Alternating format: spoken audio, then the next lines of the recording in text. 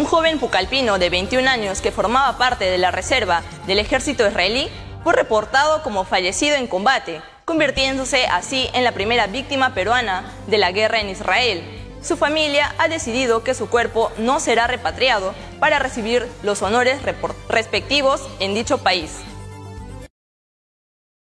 Un joven pucalpino identificado como Brando David Flores García, de 21 años, había sido reportado como desaparecido el pasado sábado 7, tras los conflictos que se vienen suscitando entre los países de Israel y Palestina. Ah, lamentablemente es así. Eh, este ciudadano peruano era el que la familia había pedido privacidad, por eso no habíamos divulgado su nombre.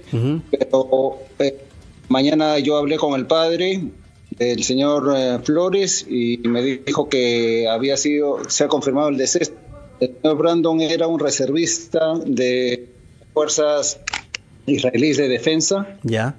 Y me ha dicho que podemos difundir su nombre porque ya, ya, ya está consumado el hecho, ¿no? La Cancillería del Perú anunció este martes el trágico fallecimiento de este soldado tras un ataque terrorista en la frontera. Según informaciones, el joven se encontraba en su base cerca de la frontera con Gaza y que estaba programado para regresar a casa al siguiente día. Sin embargo, las alarmas comenzaron a sonar y se vio obligado a buscar refugio en un búnker junto con sus compañeros de servicio. ese mensaje? un mensaje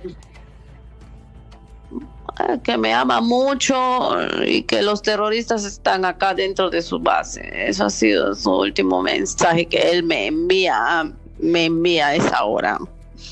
Luz Flores García hermana mayor del joven fallecido, en una entrevista para un medio nacional comentó que el velorio en el país del Medio Oriente tiene un cierto protocolo y que deberán esperar ocho días después del entierro para conocer cómo fue el fallecimiento de Brando eh, David. mire, acá hay un protocolo a seguir.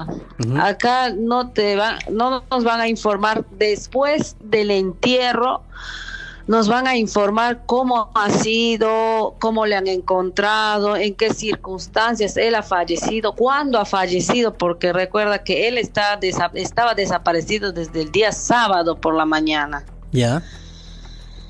Y, tenemos que esperar el, el, entierro y después de eso aquí por protocolo del mismo ejército israelí, porque él era soldado activo del ejército, la mujer comentó que la familia no tiene intenciones de repatriar los restos de Flores García, ya que será enterrado con todos los honores en el país por el cual luchó. No, imposible. No, no, ah. no, no hemos recibido ningún apoyo y tampoco necesitamos apoyo ahorita, porque no vamos a repatriar el cuerpo, no.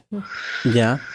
Él va a ser enterrado acá en un cementerio de soldado con todos los honores que porque él ha sido combatiente ahí en, en, el, en, el, ejército israelí. El joven Pucalpino es hijo de los ex docentes de la escuela El Botecito y Santa Rosa, Héctor Flores y Nelia Luz García, quienes renunciaron a sus labores en Pucallpa para irse hasta Israel, comprando en busca de un futuro mejor para sus vidas, sin presagiar que hoy tendrían que afrontar este triste proceso un hermano, una persona muy linda, muy buena, muy respetuosa, muy amable, muy atento, hoy, muy responsable en todo, muy cariñoso con todos, con mis hijos, con toda la familia, con mis papás, ay, ay, ni qué hablar, era los, padres, mis padres eran para él lo más.